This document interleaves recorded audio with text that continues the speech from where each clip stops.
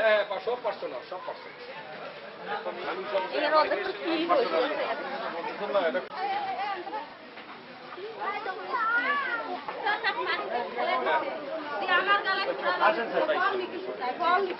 আচ্ছা ওই যার কোনটা বাড়ি দেখে? না পায়। এটাই মূল কথা তাদের এটাই। হ্যাঁ। এখানে যে পরিবার যতগুলো আছে সিক্সটি ফাইভ পরিবার বলেছে না না আমি সেটা না। ওরা যারা- চল্লিশটা ভাই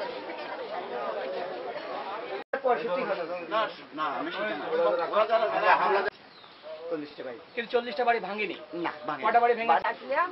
আমার টুপি ধরে দেখা দিচ্ছে দিয়ে আমার গালায় আরও কাটা হাত দিয়ে তাই তোমাকে ফোন। খালি হুমকি হান- এই, শা- শাওন রোড বল নিখিল কোথায়? বল নিখিল কোথায়? তা আমি বললাম না আমি কোথায় বাড়ি এখানে মারছে কে? হ্যাঁ আমাকে এই কথা বলছে। যে হাতে গাড়ি নিয়ে ওনাকে মারবে। প্রতিবন্ধী পায়ে যে অবস্থা। আমদাও বের করছে যদি টাকা না দিস তোর হাত কাটি নেব।